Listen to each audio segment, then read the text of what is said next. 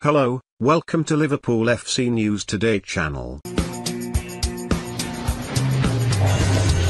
Liverpool have not been in action since they were dumped out of the Champions League by Atletico Madrid in mid-March.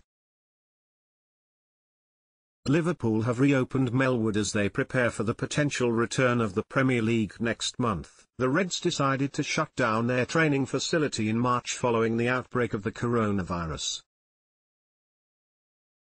The facility had remained open for only four senior players towards six weeks ago, as Alisson, Laoussi, Xherdan Shaqiri and Nathaniel Clyne stepped up their return from injury. But then club chiefs made the decision to shut down all operations, but now the football side of things is slowly starting to show signs of life. According to The Independent, Liverpool opened up the pitches at Melwood on Monday to their players. The squad are still operating under strict social distancing guidelines and waiting for Boris Johnson's next update when measures and regulations are expected to be eased. Three players at a time can use the training facilities. A medic will also be present to watch their progress from a distance. The coaching staff will remain at home with each player assigned a full pitch to use during their scheduled training slot. The Premier League has outlined plans to return in the first two weeks of June, although any date will have to be signed off by the government.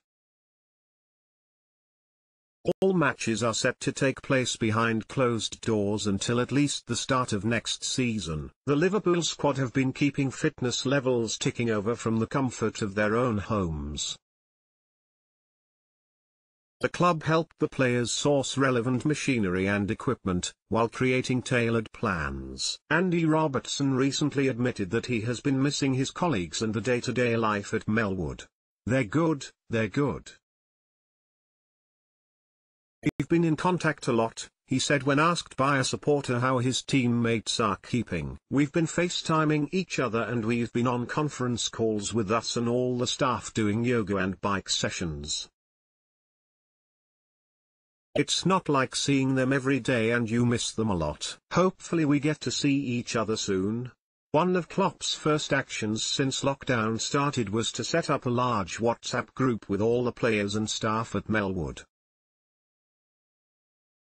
He recently challenged his players to post their favorite videos from the past few seasons, where the Reds have won three different trophies including the Champions League. There were quite a few nice games, just these two and a half, three minute clips, and I told the boys come on, send your favorite videos from the last year, or years. And there were quite a few nice ones, Klopp said. The boys sent a lot of their own videos, which they made when we were driving through the city, after winning the Champions League, and you can see that they really enjoyed that and they are looking forward to something similar.